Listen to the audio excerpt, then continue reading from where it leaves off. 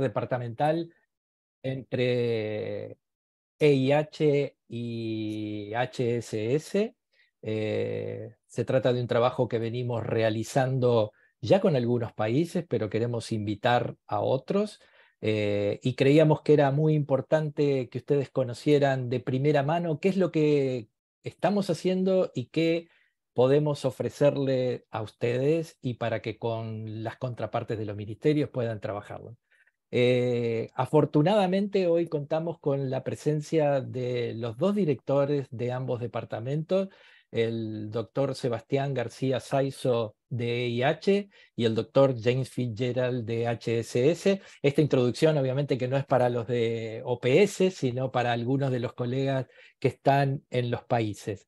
Eh, y sin más, le vamos a pedir por favor al doctor eh, García Saizo, que además nos va a tener que dejar rápidamente porque está también en otra actividad, eh, que nos dé sus palabras de bienvenida para comenzar esta reunión. Adelante, por favor.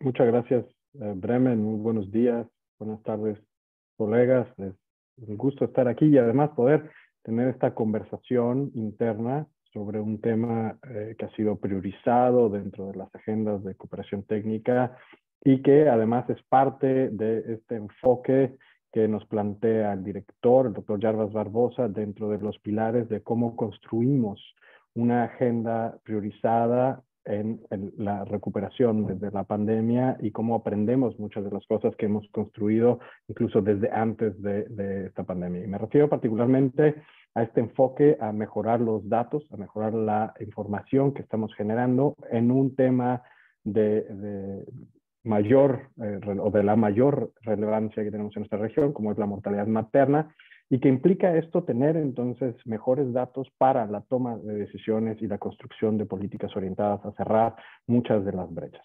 Como ustedes saben, en, esta, en esta priorización debemos tomar en cuenta que no solo necesitamos los datos generales sobre lo que ocurre en un entorno nacional sobre mortalidad materna, sino conocer a detalle con datos desagregados lo que ocurre en casos particulares que nos permitan entonces construir precisamente las iniciativas necesarias para atender el problema. Y de eso se trata precisamente esta búsqueda intencionada y la reclasificación de la muerte materna, en donde buscamos no solo mejorar estos promedios nacionales, sino adentrarnos también a los datos que nos permitan conocer en una mejor forma las causas de la muerte materna y con esto entonces poder plantear soluciones a este, a este reto. La mortalidad materna, como ustedes saben, es una de las áreas con mayor impacto en, los años de la pandemia. Nuestras estadísticas nos hablan de un retroceso de al menos 10 años en, en, los valores que tenemos de mortalidad materna y lo que implica una necesidad imperante de mejorar nuestros datos y tomar decisiones y lanzar iniciativas para reducir esto y, por supuesto, retomar el camino hacia valores que teníamos previo a la pandemia. Esto eh, en, es parte de un trabajo interprogramático que viene de más de, dos años. En el caso de países como México, esta iniciativa lleva al menos dos décadas desde su implementación, ha dado grandes resultados. Lo que buscamos con este eh, replanteamiento regional es buscar que todos los países, incluso aquellos que tienen buenas estadísticas, en, mortalidad materna puedan mejorar eh, eh, sus datos y puedan mejorar también la forma en que recabamos estos con el detalle necesario para tomar estas eh, acciones. Entonces yo celebro este trabajo entre los colegas de CLAP, HSS, EIH, como parte del ejemplo que podemos hacer en, en nuestra casa eh, de este trabajo priorizado interprogramático y la importancia que tiene el trabajo puntual que se desarrolla en los países por todos ustedes que se encuentran en las oficinas países y que es el centro de la discusión que necesitamos tener el día de hoy. Cómo podemos llevar este tema dentro de la cooperación técnica que realizamos en los países y por supuesto esto como un tema también directo de cooperación que ofrecemos desde las oficinas países. Así que bueno, agradecido con todos ustedes, pendiente por supuesto a todo el apoyo que se ha requerido desde EIH y mi agradecimiento a los colegas colegas de CLAP y de EIH que han participado en esto, insisto, durante años y que nos permite llegar a este punto ahora con este reposicionamiento de la estrategia. Así que bueno, muchas gracias, buenos días, buenas tardes a todos. Muchísimas gracias, doctor Sebastián García Saizo. Ahora le vamos a pedir las palabras de bienvenida al doctor James Fitzgerald, director del Departamento de Sistemas y Servicios de Salud. Adelante, doctor James. Muchas gracias, eh, Brennan. Gusto verle. Eh, Susani también, directora de CLAP. Uh, Sebastián, muchas gracias también, Sebastián, y todo el equipo de IIH para, para el apoyo a esta iniciativa realmente tan importante, ¿no? Um, como bien dijo, dijo Sebastián, eh, la información es clave para la toma de decisión. Um, y ahí eh, nos enfrentamos en, eh, con un contexto bien particular en, en, en, cuanto a la disponibilidad de información concreta um, eh, basado en el análisis profundo del contexto de los sistemas de salud y, y, y la capacidad de los sistemas para responder um, sobre, la, mm, sobre la mortalidad materna. Um, mucho del trabajo eh, que estamos haciendo todavía en algunos países eh, están basados en estimaciones y, y eh, estas estimaciones, en cuanto a, hablamos de desagregación de la información, eh, es compleja difícil eh, para realmente desarrollar las estrategias neces necesarias a nivel del territorio, a nivel institucional, eh, con los recursos humanos, con los servicios de salud que necesitamos para realmente construir una respuesta adecuada en el sistema de salud. Entonces, entonces la búsqueda intencional realmente es una área eh, de alta importancia eh, para la respuesta de la organización integral eh, para reducir la mortalidad materna en la región de las Américas. Estamos trabajando, eh, saliendo de la pandemia sobre una nueva estrategia para la mortalidad materna, para reducir la mortalidad materna en la región. Y ese es el elemento que realmente debería ser clave en esta estrategia para fortalecer la capacidad de los propios países en identificar las causas, las razones, los lugares, las instituciones que, que tienen retos particulares um, para justamente mejorar eh, las respuestas integrales ante este contexto. Entonces, es un trabajo conjunto eh, que necesitamos hacer, no solamente en la OPS, pero también a nivel de los países, que junto entre los eh, expertos y, y, entidades responsables para la información, sistemas de información para la salud, eh, junto con los servicios de salud y, y los directores del, de los servicios de salud en nivel de los países, tienen que trabajarlo de forma seria um, y integrada para responder a este grande reto que nos enfrentamos y realmente vamos a mejorar el contexto en el país. Uh, felicidades uh, entonces a todos para esta nueva iniciativa, a Bremen, a Susani, a IIH, a todo el equipo. Juntos vamos y, y brindamos la cooperación necesaria a los países en nuestro respecto. Muchas gracias. Muchísimas gracias, doctor James Fitzgerald. Eh, contarles, antes de pasar a la, a la presentación central, eh, que este, como bien dijeron tanto los doctores Sebastián como James, que se trata de un trabajo interprogramático desde el comienzo. Eh, la otra parte que no, no, no, es visible porque es un tipo demasiado, de demasiado bajo perfil, que es el doctor Antonio Sangüesa, eh, que está llevando adelante, liderando este proceso desde el área de IH y que va a seguir participando en los próximos minutos. Este, pero quería sí dejar claro que él es parte fundamental de este proceso. Y para, vean cómo, para que vean cómo realmente es un trabajo interdepartamental, la contratación de la especialista que está apoyando a los países es un proceso que está siendo financiado por los dos departamentos lo que lo hace realmente más interdepartamental, porque es muy fácil cuando decimos, sí, trabajamos juntos, pero los recursos los pone uno solo. ¿no? En este caso los estamos poniendo desde los dos departamentos. Así que sin más, porque ya tenemos un poquito de atraso, le voy a pedir a la doctora Aline Jiménez que tome la presentación para presentarles a todos ustedes la metodología que muchos ya la conocen, pero que hay otros países que aún no la tienen del todo incorporado. Adelante, Aline, por favor. Muchas gracias. Es un placer para mí estar el día de hoy aquí y agradecer el espacio y agradecer a todos los que hoy pudieron darse un tiempito para poder acompañarnos y, y poder eh, conocer o reconocer este, este tema tan, tan relevante. Voy a permitirme eh, compartir la pantalla.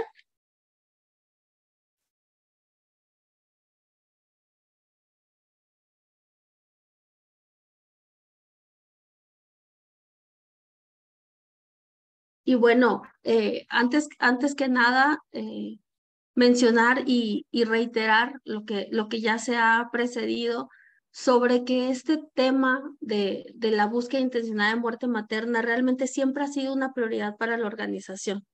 Es un tema que viene eh, manejándose y en el que ha habido cooperación técnica conjunta en estas áreas desde, desde 2015. Entonces, eh, es, eso es muy importante eh, reiterarlo.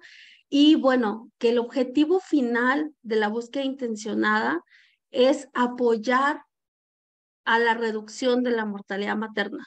Y nosotros podemos quizás pensar cómo es posible que podemos llegar a con una metodología que lo que de inicio busca es eh, encontrar muertes maternas que estaban ocultas tras un mal registro, invisibles ante nuestros ojos, ¿cómo es posible que esta, eh, porque de hecho es una alza momentánea de la cifra, puede terminar en una reducción a un mediano plazo de la mortalidad materna. Y es parte de lo que eh, a mí me gustaría poder responder en esta, en esta presentación.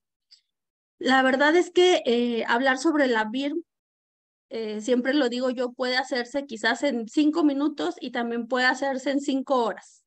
Entonces, la verdad es que para mí es un reto poder tratar de, de, transmitirles a todos la importancia, sobre todo la importancia del tema, más allá del componente y cómo, en qué consiste la, la, metodología, sino más, más que nada poder dejar en nuestras conciencias la importancia de llevarlo a cabo. Eh, y bueno, justamente empezando con este tema de la importancia, todos sabemos que la mortalidad materna, cuando ocurre en un alto porcentaje, evidencia aspectos de cobertura, acceso y calidad de los servicios de salud, de los servicios de salud. Y esta es la parte fundamental del por qué estudiamos la muerte materna como se estudia, por qué tenemos los comités de muerte materna en el que se estudia cada uno de los casos para saber realmente cuáles fueron las causas que llevaron a la muerte a una mujer que no tenía por qué morir porque el embarazo no es una enfermedad y nosotros no esperamos que una mujer embarazada, embarazada fallezca.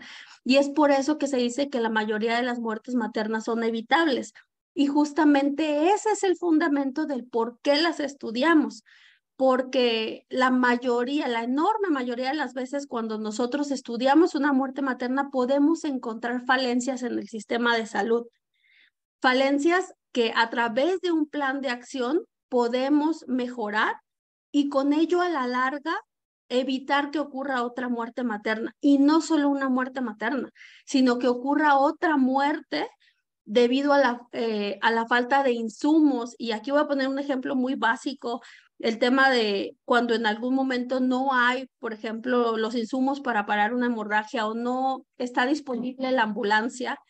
Cuando yo detecto eso al estudiar un caso de muerte materna y hago el plan y lo implemento, me voy a asegurar de que esa ambulancia siempre esté disponible en lo sucesivo en ese lugar y eso no solo va a evitar otra muerte materna, sino cualquier otra muerte que requiera ese insumo.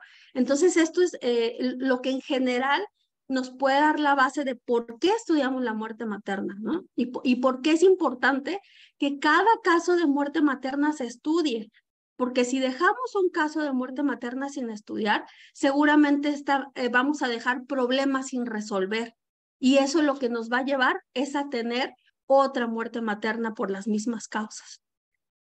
Entonces, en ese contexto, eh, es importante, y, quizás puede ser una frase ya trillada, de, de que es importante medir para poder mejorar, pero en este caso particular no solamente se trata de medir por medir, tenemos que asegurarnos de que estamos midiendo con calidad, que estamos eh, estudiando todas las muertes maternas que ocurrieron para solucionar los problemas que llevaron a la muerte de esas mujeres y evitar que ocurran más. Y de esa manera, asegurar que la muerte materna reduzca realmente. Eh, y bueno, aquí justamente me gustaría compartir con ustedes esto y, me gustaría que se quedara en nuestra mente mientras estamos en esta charla. Y es que cada muerte materna subregistrada es una oportunidad que perdemos para mejorar el sistema de salud. Y en este contexto, pues, eh, a nivel mundial está reconocido el problema que existe para tener calidad de información sobre muerte materna. Por un lado, debido al subregistro, pero en mayor eh, proporción, en, la mayoría de los países que tienen información que se considera de calidad de, funciones, es debido a una mala clasificación. Aquí en simplemente en este tema podríamos llevarnos quizás una hora entera explicando cuáles son estos factores que provocan que haya un subregistro eh, que todavía está presente en alguno de los países, incluso en nuestra región. Y lo mismo, cuáles son los factores que, que, llevan a que exista una mala clasificación. Sin embargo, bueno, no tenemos el tiempo para meternos a detalle en cada una de estas, pero es importante mencionar que son múltiples los factores eh, y, además de, de, distintas naturalezas. Por ejemplo, el subregistro pues va desde los factores culturales, sobre todo en ciertas poblaciones, hasta las limitaciones que el mismo Estado eh, llega en algún momento, no a poner intencionalmente, pero sí eh, que no facilitan el registro, como las distancias que hay a veces de tanto de las unidades médicas donde hay médicos certificadores como de oficinas del registro civil para poder eh, hacer o acercarle a la población el registro, ¿no? Y esa sensibilización de la población de la importancia de hacer un registro. Pero si nos vamos al tema de la mala clasificación, pues ahí también el tema es multifactorial desde el desconocimiento del correcto llenado del certificado de función, que no se tiene en, algunas ocasiones clara la importancia de mencionar el estado de embarazo, parto o puerperio de una mujer y se omite del certificado, hasta errores eh, que tienen que ver más con el tema incluso de la codificación y selección de la causa básica cuando no existe una capacitación adecuada en los codificadores eh, de la CIE 10. Y por qué no mencionarlo, también existe un ocultamiento deliberado, ¿no? Que este regularmente es provocado, por un lado, eh, debido a, mm, eh, le, llamamos eh, incentivos perversos, que a veces el Ministerio de Salud pone, obviamente sin, sin intención, pero quizás dar algún premio a algún hospital que en todo el año no tuvo una muerte materna. Y si ese hospital casi a finales del año tiene una muerte materna, podría haberse tentado ocultarla, hasta cuestiones eh, que tienen que ver con acciones punitivas que siguen habiendo, ¿no? Cuando existe una muerte materna, eh, digamos que en contra del equipo que participó, que estuvo atendiendo a la mujer. Entonces, eh, realmente es multifactorial y la mayoría de todos estos en cierto porcentaje están presentes en, en nuestros países. Y es por eso que de una u otra forma todos los países tenemos que trabajar en mejorar la calidad de la información de muerte materna, tratando de salvar todas estas eh, cuestiones. Y bueno, eh, esto solamente lo voy a mencionar tangencialmente, pero es parte de lo que se ha buscado para, para tratar de solventar este subregistro que puede existir en la mayoría de los países. Nuestro grupo interagencial que existe, que está integrado por diversos organismos internacionales donde se busca hacer una estimación, insisto, que solvente este subregistro y tratar de medir pues lo más eh, apegado a la realidad, por así decirlo, eh, la muerte materna, ¿no? Y con el objeto, obviamente, de monitorear y, ver el cumplimiento, en este caso, pues, de los objetivos de desarrollo sostenible. Más allá pues existe una solución transitoria. Y, yo la llamo una solución transitoria, me refiero justamente a la BIR. ¿Por qué una solución transitoria? Porque la solución real, y me van a permitir, perdón, regresarme tantito aquí, la solución sería asegurarnos que ninguno de estos factores estuviera presente, que todos los médicos estuvieran capacitados siempre eh, eh, en cuanto al llenado del certificado de defunción, que todos los codificadores también estuvieran eh, sensibilizados de cómo se selecciona la causa básica en, causa en caso de muerte materna, que no existiera un ocultamiento deliberado, que la población tuviera facilidad de registro y sensibilización. Aquí tenemos que trabajar y, y de hecho la organización está trabajando en mejorar estas cuestiones, pero esto, bueno, lleva un largo tiempo ya trabajándose en cuanto al plan de estadísticas vitales. Pero por eso, insisto, la solución transitoria, y hace muchos años lo primero que se empezó a realizar fueron ejercicios periódicos de ramos para, estimar el subregistro de la mortalidad materna y evaluar avances. Los problemas de estos ejercicios es que regularmente eran ejercicios, como menciono, periódicos que se llevaban a cabo eh, cada, no sé, incluso cada cinco años, que ya no permitían realmente cuando se encontraba un caso de muerte materna oculta, estudiarla y hacer algo para evitar las, las verdaderas causas que llevaron a la mujer a la muerte y mejorar el sistema de salud. En cambio, esto lo que, lo que se, hacia donde estamos transitando ya desde hace, como bien eh, lo mencionaba el doctor Sebastián, casi 20 años que se inició este proceso de búsqueda en México, pues es implementar, digamos, a grandes rasgos esta metodología Ramos, pero de manera que se ejecute continuamente en los países, a fin de que cuando podamos encontrar muertes maternas ocultas tras un mal registro, nos permite estudiarlas y aún poder establecer acciones que nos permitan incidir en la disminución de la muerte materna. Entonces, ¿qué quiere decir esto? Ir más allá de la cifra. Obviamente, y, cuando uno piensa en la búsqueda intencionada, lo primero que piensa es, ah, es para tener buenas cifras. Y sí, eh, ya hablamos acerca de la calidad de la información, de asegurarnos que estamos contando todas las muertes maternas, pero va más allá. Realmente lo que queremos es asegurarnos que todas las muertes maternas son estudiadas, se identifica un plan de acción y se ejecuta para evitar que vuelvan a ocurrir muertes maternas por esas causas. Entonces, en ese sentido, eh, como también ya se mencionaba anteriormente, en México, en la Dirección General de Información en Salud, el Centro Mexicano para la Clasificación de Enfermedades, hace 20 años justamente inició la búsqueda intencionada y reclasificación de muerte materna, que tiene eh, justamente este objetivo de abatir el registro incompleto de las defunciones maternas, corregir su mala clasificación y con esto obtener información confiable que permita su disminución. Entonces, eh, después de varios años de probado éxito de esta búsqueda intencionada, donde justamente uno de los grandes logros fue que en algún momento el grupo interagencial dejó de hacer una estimación de las estadísticas nacionales de México, es decir, reconocía la cifra de muertes maternas que el país publica, eh, es a partir de ahí que la OPS empieza, obviamente, con apoyo del centro, al cual aprovecho para agradecer infinitamente eh, todo el apoyo relacionado con esta, con esta eh, implementación y adopción en los países de la región. Eh, empieza a difundir, les decía yo ya en 2015, esta metodología. Entonces, eh, bueno, a grandes rasgos y, obviamente pues no tenemos todo el tiempo para hablarlo a detalle, pero quiero comentarles eh, que la BIRM está conformada de cuatro procesos.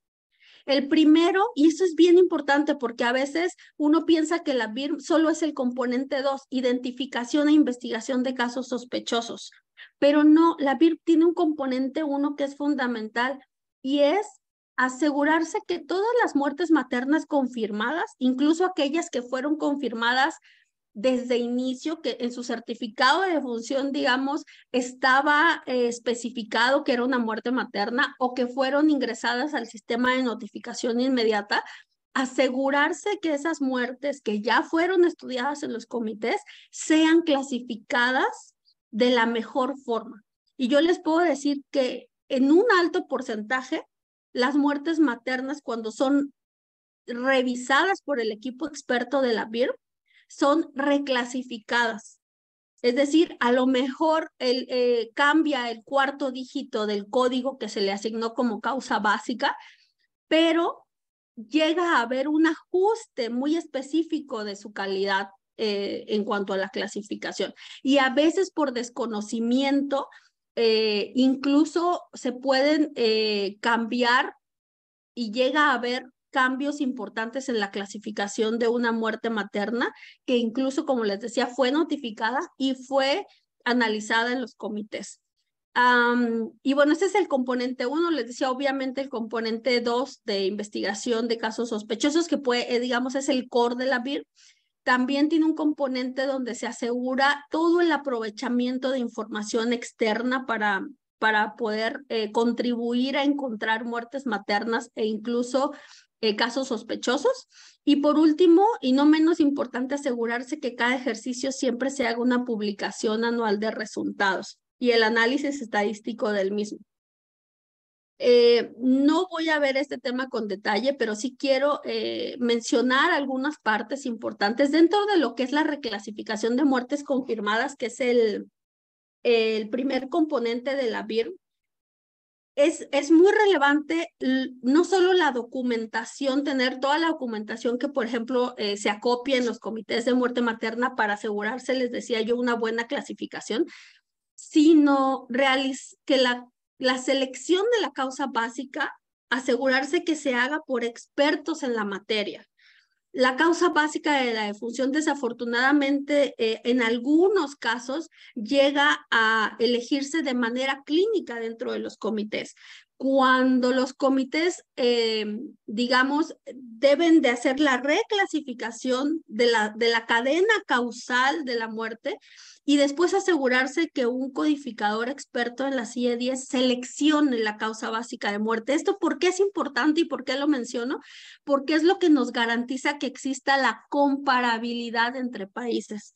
Seguir y obviamente no lo voy a explicar, pero seguir este proceso para, para poder encontrar la causa básica de la defunción conforme lo dicta la OMS dentro de la CIE-10 y asegurar que las cifras sean comparables dentro de los países y obviamente también entre países.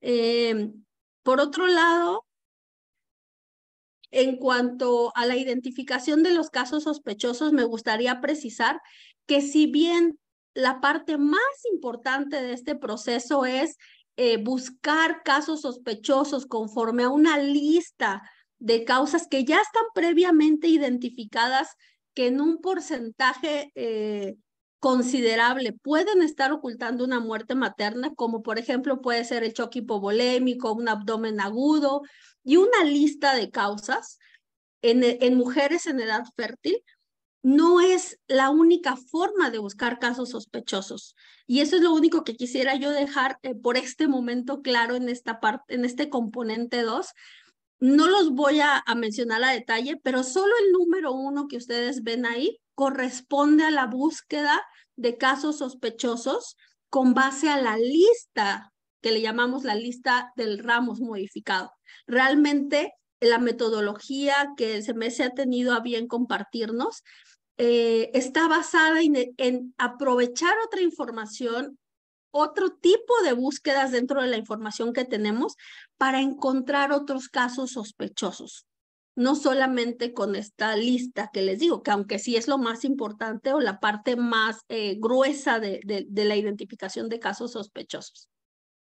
Y bueno, obviamente, eh, posterior a la identificación de casos sospechosos, pues hay que recuperar alguna evidencia para poder distinguir y decir, este caso se descarta como muerte materna o este caso, después de hacer una autopsia verbal o de tener el, el, resumen clínico del caso, pues podemos confirmar que era una muerte materna. Una vez que se hace esta identificación, es importante saber que lo que sigue es asegurar que esa muerte materna tenga un, eh, un tratamiento similar a una muerte materna que se hubiera, por ejemplo, notificado en el sistema de notificación inmediata. ¿Qué quiere decir eso? Que esa defunción sea analizada en el comité correspondiente de muerte materna para identificar sus causas, tener un plan de acción y asegurarse que no vuelva a ocurrir una muerte por esas causas. Eh, el tema de confronta con otras fuentes, acá lo relevante que quiero solamente este, resaltar es que eh, debemos hacer uso de toda la información que se tenga disponible sobre la atención que se le dio a una mujer embarazada o en el puerperio. ¿Por qué? Porque nos va a ayudar al hacer cruces de información a confirmar muertes maternas sospechosas o eh, incluso detectar casos sospechosos adicionales. Y por otro lado, siempre irrelevante, lo resalto, asegurar que el ejercicio PIR sea conciliado con la información oficial que produce el país. Eh, y como último componente de la BIR, les decía, es la conformación de este mm, informe anual que por supuesto debe ser enviado oficialmente para que en su momento sea contemplado los ejercicios de estimación que hace el grupo interagencial. Eh, ya nada más un par de, un par de slides más que quería eh, ver con ustedes. Fíjense, eh, aquí ustedes pueden ver, este podemos tomar que es el marco integral de vigilancia de la muerte materna, en donde la notificación inmediata, el, el, el, estudio en los comités, obviamente la respuesta para evitar nuevas muertes, todo esto y la captación de defunciones en el proceso regular de información, todo esto es el insumo de la búsqueda, que a su vez es el filtro para asegurar que exista una sola cifra de muerte materna de calidad en el país. Y por último, para, para poder cerrar esta, esta breve charla, ¿Cuáles son los insumos necesarios para, para la adopción de la BIR? Aunque no lo crean, lo más importante no es tener las capacidades para implementarla. Lo más importante es que exista una sensibilización, aceptación y apoyo de las autoridades. Y esto porque, como ya lo mencionaba yo hace un momento, va a haber un alza este, en la cifra de muerte materna ¿Por qué? Porque vamos a estar contando realmente todas las defunciones, pero esto es momentáneo, vamos hacia una reducción, es parte del camino hacia la reducción real. Y por otro lado, el convencimiento del personal coordinador y operativo. ¿A dónde voy? A que se busque queriendo encontrar, no buscando queriendo no encontrar. Y eh, otras cuestiones importantes como asegurar que el proceso esté regulado en forma normativa y esto por todas las personas y que tienen que participar en esta metodología, asegurar la disponibilidad de información. Dentro del Ministerio de Salud hay tres áreas esenciales que deben de participar, sistemas de información en salud, salud materna y epidemiología. Obviamente involucrar en algún punto al Instituto Nacional de Estadística para la cifra oficial o al, al ente que haga esta oficialización de cifras y sí, por supuesto, asegurarnos de tener eh, capacidades fortalecidas. Y con esto eh, agradezco muchísimo eh, que, me hayan escuchado y regreso el micrófono. Gracias. Gracias, Aline. la verdad es que es demasiado material junto para irlo procesando. te voy a pedir que dejes de compartir. Yo eh, voy a compartir solo una cosa para abrir y tratar de tener un espacio eh, para preguntas y respuestas que me parece que es lo más importante hoy y así también algunos comentarios. Eh, con Antonio y también con Aline hemos preparado una, una, hoja de ruta de cómo pensamos que podríamos estar trabajando. Disculpen, se me fue lo que estaba compartiendo, creo. ¿Ustedes están viendo mi pantalla?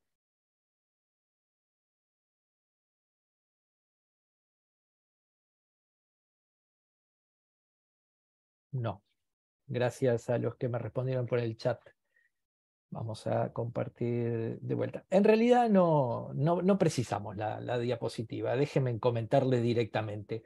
Nosotros lo que hemos establecido es que queríamos en el día de hoy precisamente mostrarles de qué se trata la BIRM. Obviamente que con esto es insuficiente, pero en nuestros próximos pasos lo que queremos tratar de determinar es conseguir la expresión de interés que puedan tener los ministerios de salud para implementar BIRM y el apoyo que precisen desde las oficinas. Entonces, en ese trabajo nosotros lo que les agradeceríamos es que cuando discutan los colegas de OPS con las colegas de los países en aquellos países que haya interés, que nos envíen un mail directamente a Antonio Sangüesa y a mí o a uno de los dos, pero idealmente sería a Antonio y a mí para ver que existe un interés.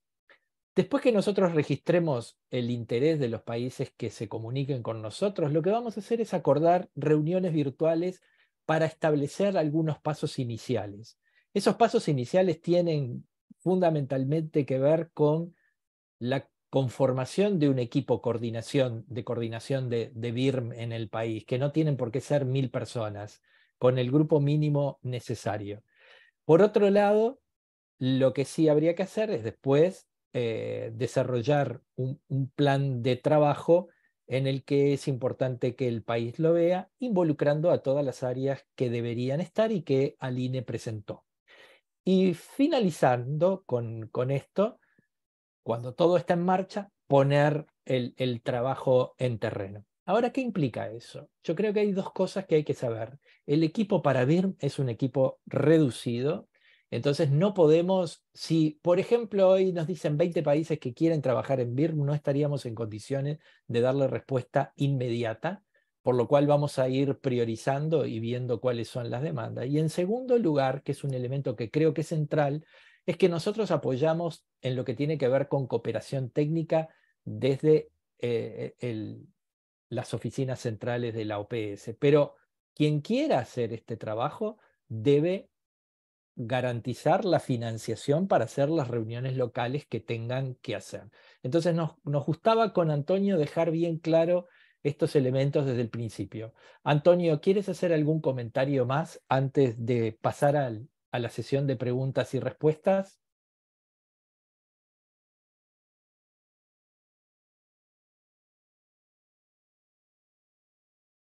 Estás mute, Antonio.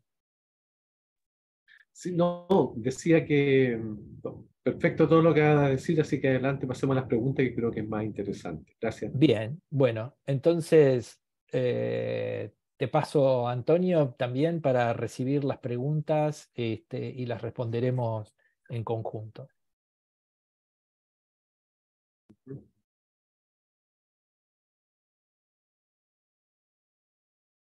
No vemos preguntas en el chat.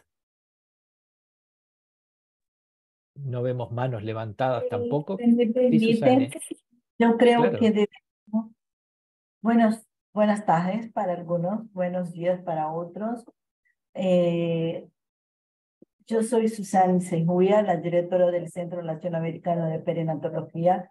No tengo una pregunta y antes que haga el cierre, quería primero agradecer a Lini por su excelente presentación y decir que sí, nosotros vamos a enviar, que hay varias personas preguntando dónde puede encontrar los materiales y las referencias. Y creo que eso sin Breme y Antonio y Aline deberíamos contestar. Y ahora sí veo manos levantadas. Pronto, así que me callo. Vamos, Susana, gracias por tu, tu comentario. Vamos, ya tenemos cuatro personas registradas. Eh, y vamos a responder también lo que decías. La primera persona, por favor, tomen nota, es Victoria Bertolino, después Raúl Medrano, después Karen, Karen Rangel y por último eh, Humberto Flores. Así que, Victoria, adelante, por favor. Muchas gracias, Bremen. No, no estoy pudiendo, no sé por qué, eh, conectar la cámara. Discúlpenme, no sé por qué. Te oímos perfecto, no te hagas problema. Bueno, bueno, muchas gracias. Ante todo, felicitaciones. Decirles que, bueno, es un, un enorme paso este, eh, hacerla bien. Tuvimos la experiencia en Argentina. Primero la hicimos en una, por supuesto, la voluntad política es eh, lo primero la hicimos en una provincia piloto y después avanzamos hacia escalar en todo el país con un, gran compromiso. Creo que es verdad, es verdad que sube, como decía perfecto Aline, al principio este, las cifras, pero luego este, hay una, un, compromiso incluso del país para, para este, ejercer y tener y sostener políticas más adecuadas hacia la reducción. sobre todo quería felicitarlos, Bremen, un abrazo grande. Gracias. Eh, ya el, colega este, Raúl Medrano tuvo la gentileza de decir que su pregunta había sido respondida, así que pasamos a Karen.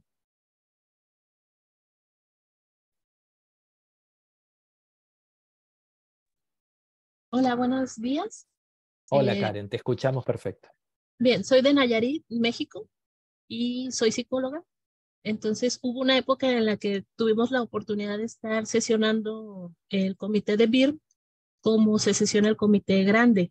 Este, y eh, algo que ahí detectamos fue que muchas de las mujeres que habían fallecido eh, después de, del periodo de los 42 días, o sea, clasificadas por BIR, habían tenido pérdidas gestacionales por óbitos, legrados, abortos. Entonces, este, más o menos, más o menos, porque es algo en lo que ahorita que veía el punto 4 que mencionaba la licenciada, bueno, no sé, la maestra Aline, este, sobre em, la publicación. No podría dar como un registro, más o menos calculamos un 80% de los casos que nosotros analizamos este, presentaban estas pérdidas gestacionales, o sea, anteriores, y fueron mujeres que buscaron embarazarse antes de un año y que entonces ya el siguiente embarazo lo cursaron más o menos bien, y lo digo entre comillas, y bueno, pues finalmente fallecieron, ¿no? Este, entonces ahorita nosotros con la estrategia de, eh, iniciamos esta estrategia a manera preventiva de la detección de pérdidas gestacionales este, y hacer ese abordaje para que el periodo intergenésico pueda ser más amplio y a, través de esto poder llevar prevención no solo de la morbilidad materna, sino también la perinatal. Es decir, tratando de resolver el duelo o acompañando a estas mujeres que cursan con depresión postparto por esta pérdida gestacional, este, puedan aceptar un método de planificación, se les brinde consulta pregestacional y eh, ampliarlo. Eh, acá en, en, México la norma 007 nos marca que sean dos años. Lo que nosotros estamos ahorita tratando de implementar es mínimo un año, mínimo un año después del evento obstétrico o del fallecimiento del bebé, este, si es que fue pérdida gestacional, este, para poder tener este impacto con las mujeres y es algo en lo que estamos capacitando. Muchas ah, gracias, Karen. A mí lo que me gustaría nada más es como fortalecer, no sé con quién o dónde ir, como para tener ya una estadística real eh, y tener como este sustento. Gracias. Gracias a ti. Humberto.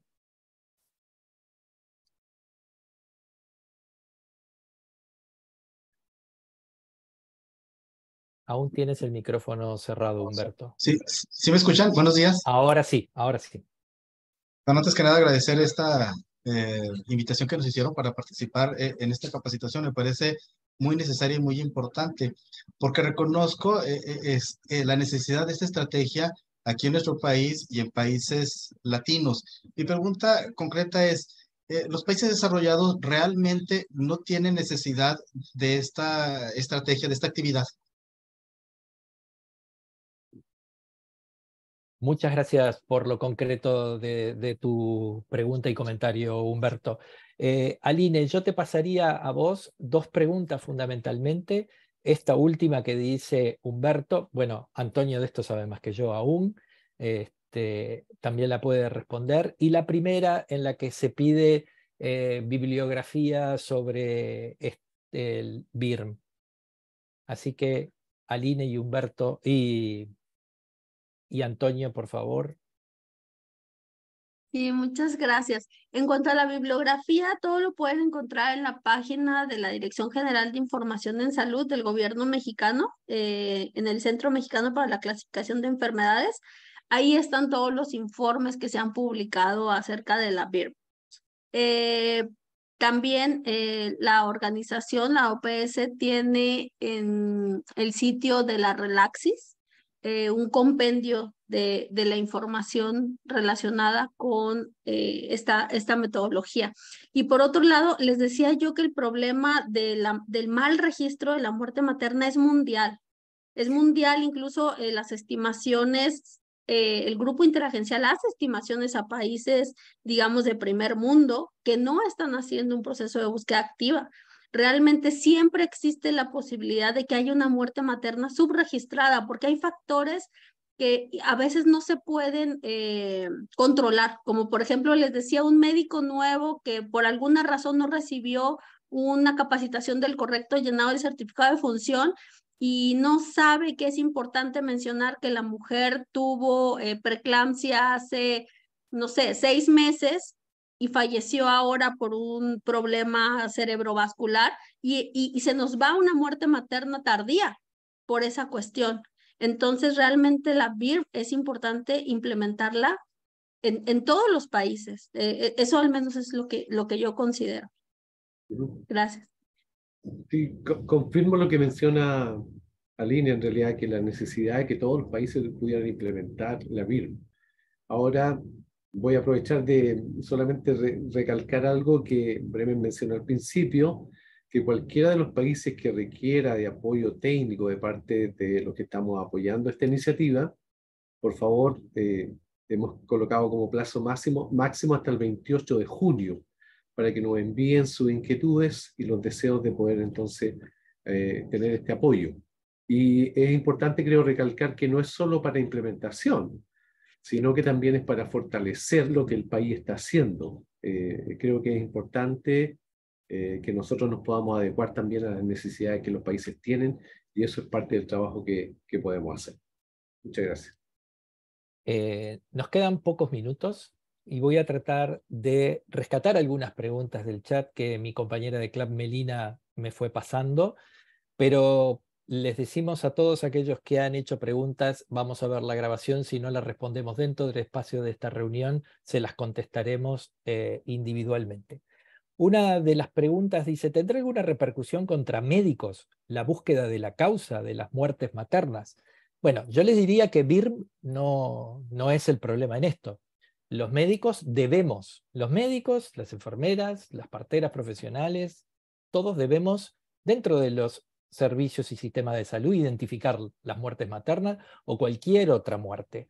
Lo que sí no debe pasar, lo que sí no debe pasar, y desde OMS y OPS tratamos de movilizar siempre el concepto de evitar la culpa. Porque ¿qué es lo que pasa en nuestros países? En nuestros países, generalmente se suele asignar la responsabilidad de la muerte a que una enfermera inyectó eh, una dosis que no era la apropiada, un médico no hizo los procedimientos que tenía que hacer o los hizo tarde. En realidad no se trata de un proceso individual. Lo que se tiene que tener en claro cuando se habla de vigilancia y respuesta a la muerte materna, no importa la técnica que se utilice, sea el ramo, sea el DIRM, o sean exclusivamente las autoridades y los reportes nacionales, lo que importa es notificar para tratar de evitar nuevas muertes. Si nosotros barremos para abajo de la alfombra, nos va a seguir pasando lo mismo. Y tener en claro que es algo común acá, que se busque culpables, como decíamos, pero la idea es precisamente evitar eso, porque una muerte materna no es responsabilidad de una persona en particular, es responsabilidad de todo el servicio en el que se atendió y de todo el sistema, y a veces va más afuera del sistema porque la mujer viene desde la comunidad donde hay factores determinantes sociales que tienen eh, base en, esto que está pasando. Eh, vamos a la siguiente. Eh, ¿En qué consisten los ejercicios Ramos? Ramos es una técnica compleja que se basa en buscar todos los casos de, muerte de muertes en mujeres en edad fértil, que se utiliza también en la BIRM. Eh, hay mm, enorme trabajo sobre, trabajos publicados sobre eso, así que le recomendamos a la persona que hizo esa pregunta, porque no es justo el momento para responderla hoy, que puede acceder a eso porque eso es una sigla que está centrada en la búsqueda de muertes en mujeres en edad activa, eh, edad fértil. Eh, la participación y organización comunitaria en la búsqueda de embarazadas y puérperas es importante. ¿Qué pasa con las deficiencias para responder ante las demandas de las usuarias? Los comités de mortalidad materna deberían tener representantes de la sociedad civil que precisamente eh, refleje las opiniones y el sentir de las comunidades. Y no cualquier miembro de la sociedad civil. La Organización Mundial de la Salud dice que para integrar esos comités, la persona de la sociedad civil que los integre tiene que tener el entrenamiento suficiente como para realmente poder opinar con propiedad y que no sea manipulado dentro de los comités de mortalidad materna. Eh, hemos llegado a las 13.55. Eh, le paso a mi colega Antonio Sangüesa para que junto con la doctora Susan Cerrulla, directora del CLAP, pongan fin a esta eh, sesión del día de hoy. Muchas gracias por su tiempo. yo solamente agradecer la participación de mis colegas y de cada uno de los colegas de los Ministerios de Salud que seguramente están presentes acá. Muchas gracias por su participación y dejo a la doctora Susan. Adelante. Muchas gracias, Antonio, Alini, Breme. Me permitan empezar agradeciendo a ellos que son la fortaleza del equipo regional, porque muchas veces pensamos para hacer el trabajo OPS, ¿tiene quién? Tiene un equipo que en los países puede hacer con que esa cooperación técnica eh, tenga la calidad que es necesaria. Me alegra mucho ver que llegamos a casi 500 participantes. ¿Y por qué ese tema es tan importante? ¿Y por qué debemos hablar sobre eso? A propósito, puse el link de la página que decía Lini de los BIR. Está ahí el chat. Porque nosotros somos capaces, si conseguimos visualizar mejor las muertes maternas, de disminuirlas. Este es el objetivo pierdan el foco, que nosotros hacemos BIR, hacemos todas las metodologías, damos lo que sea. Decía nuestro famoso colega de Brasil, eh, Escalante, decía, bueno, nosotros en Brasil hacemos eso, que el tal revisar. Ah, muchos de los países, como pasó con el INI, tienen una experiencia excelente. En sus países son las personas que lideran ese trabajo. Pero nosotros hacemos ese trabajo con la finalidad de entender cambios epidemiológicos. Les cuento, por ejemplo, la cosa más sencilla. Hoy es normal que muchas mujeres sobrevivan a los 42 días y después tengan una muerte muy, muy más tardía, digamos así. Entonces, si nosotros no entendemos qué pasa, dónde está el cuello de botella donde no logramos incidir, no mejoramos la salud de las mujeres. El objetivo principal de la búsqueda intencional para entender dónde están las muertes maternas es esta. Nosotros queremos la comunidad porque porque nos aseguramos de tener transparencia, nos aseguramos que eso sea un pertenecimiento a las familias, nos aseguramos que el trabajo que hacemos tenga calidad. Y como han dicho los directores al inicio de la, de la reunión, con eso también mejoramos las estimaciones en los países. Uno de los indicadores más importantes que ustedes van a encontrar en cualquier plan, sea de salud, sea social, como los OTS, es la mortalidad materna. La mortalidad materna es un tema de justicia social, de equidad social. Y nosotros debemos trabajar para eso. Esta es la visión. Las metodologías pueden variar, pero el compromiso debe estar. Y por eso me alegro tanto que hasta el final sigamos con tantos participantes. Les quiero le pedir a los participantes una cosita más. Este, este, todos los webinars de OPS están en YouTube. Son disponibles, son gratuitos envíen a los otros colegas. Muchos colegas les va a encantar escuchar a Lini y toda la presentación, conocer las preguntas, entender más del tema. Capaz que reunir en equipo y revisar esta presentación. Es un esfuerzo que vale la pena porque nosotros merecemos y queremos tener una América más comprometida con los derechos de las mujeres y con la vida de las mujeres. Muchas gracias a todos. Que tengan una feliz tarde. Ahora ya creo que es tarde para todos en la edición y que nosotros nos encontramos a la brevedad en otra reunión. Bye bye. Chao, chao. Gracias. Obrigada. Messi, thank you. Bremen, Antonio, Alini, campeones, muchas gracias. Chao, chao. gracias.